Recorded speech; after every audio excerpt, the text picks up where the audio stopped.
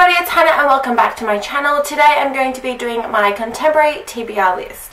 Basically, I'm going to be listing all my books on my TBR that are contemporary books, giving a quick summary and a prediction. This video may only be part one because I have a lot of contemporary books on my TBR list. So without further ado, let's get straight into it because I have a lot of books to be talking about.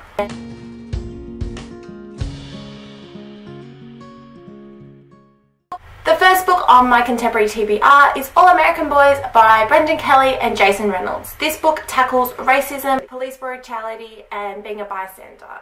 So what are my predictions for this book? I can already see how sad this book is going to make me feel with all the issues that it is dealing with as well as it being a very raw story that's going to make me bawl my eyes out.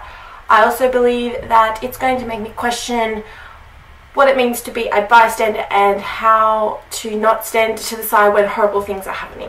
The next one is Harley in the Sky by Akemi Dawn Bowman. This one sounds very, very interesting as it follows this girl who follows her dream of becoming a trapeze artist in the circus. I reckon this book is going to have a very, very unique writing style in the way it has beautifully written and magical kind of lyrical writing. I also think it's going to have these hard lessons intertwined into this story, but we shall see. A Heart in the Body in the World by Deb Caletti was one I actually found while scrolling through Facebook. It actually sounds very, very unique and interesting. It follows a girl who runs across the country to escape the guilt of her past. I believe this one is obviously going to have this girl come to terms with her guilt of the past, but also having a huge betrayal and a big, big secret. Book number four is when We Collided by Emery Lord. Basically this is about two people in a relationship, basically a love story while dealing with their own struggles. I've heard a lot of things about this book, very very good things about this book, so this could be a very very good thing or a very very bad thing depending on if it, lives up the hype we shall see. I believe this story will focus on the struggles of these two people whilst in this relationship and it's definitely, definitely going to break my heart. And the last book I'm going to talk to you guys about today is The Female of the Species by Mindy McGinnis.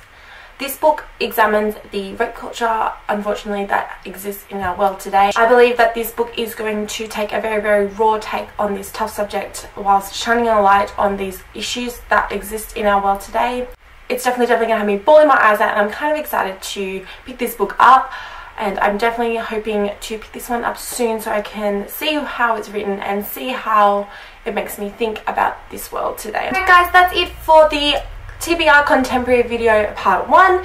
Keep your eye out for part 2 because that will be coming very very soon. If you like what you saw, definitely subscribe and ring the bell to get notified when I post a new video. But until next time guys, see ya!